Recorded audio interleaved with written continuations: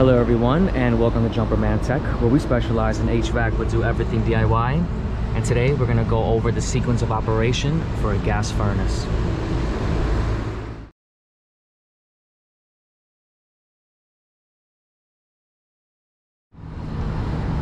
Thank you to everyone tuning into Jumperman Tech.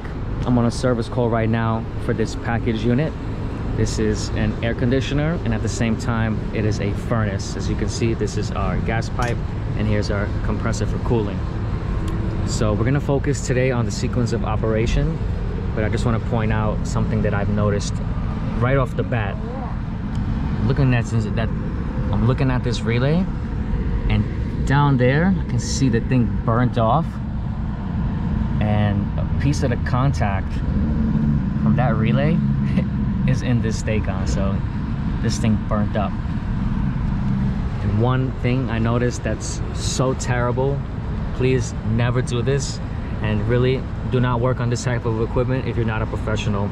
There's a jumper wire on the rollout switch. That means the flame came out of here and shut this down. It shut it down for a reason that is not something to play with. So I'll be evaluating this after, but while I'm here, I figured this would be a perfect time for the beginning of the season to go over the sequence of operation. So, first things first,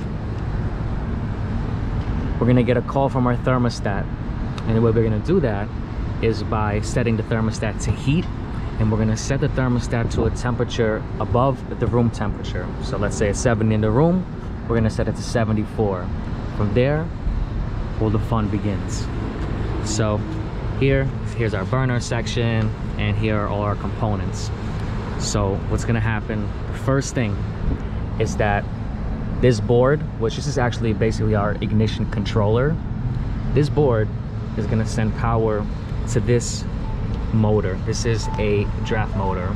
So what's gonna happen is this motor is gonna start and then we have an air proving switch to prove that we have air being moved and inside this motor th this piece right here this is actually an air switch. You can see there's another set of wires coming out of here. So once this motor starts this switch has to close to prove that we have air. And I want to show an example of another type of air switch on the unit right down there because you know it's just good to see other things and different styles of air switches. And honestly this is the typical one that I see so to find a unit like this this is another burner section. Works the same way just a little different. So here's our inducer motor and this is the air switch. Sometimes you just see like a little round switch with a tube all right?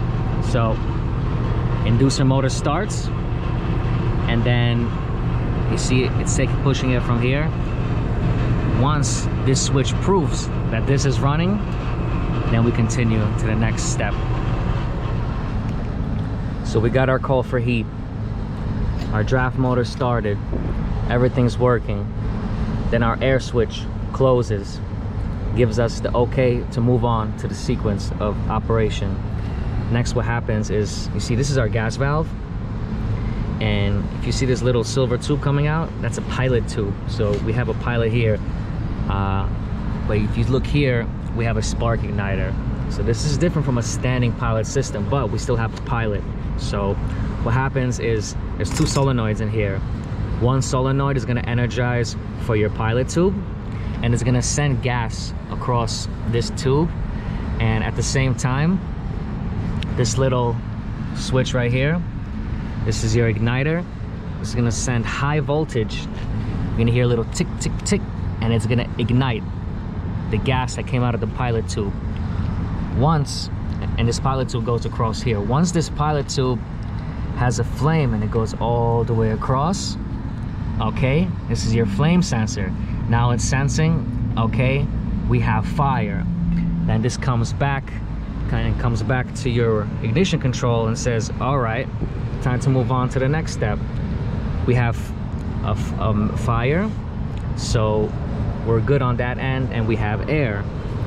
Next this board is going to send voltage to the main gas valve solenoid and it's going to open the main gas valve and you're gonna hear a whoosh.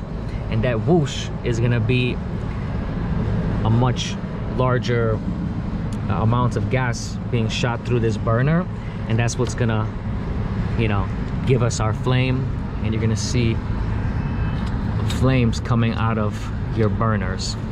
So and that's of course going to be heating up the heat exchanger in the back of this unit. Here we have a switch a limit switch which is a safety device which can shut you off.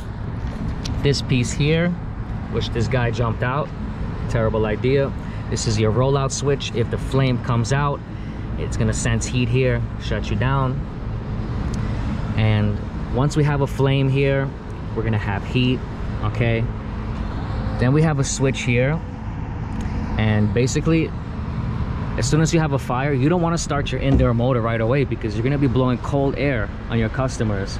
So what happens is that there's another switch here that it has to sense heat.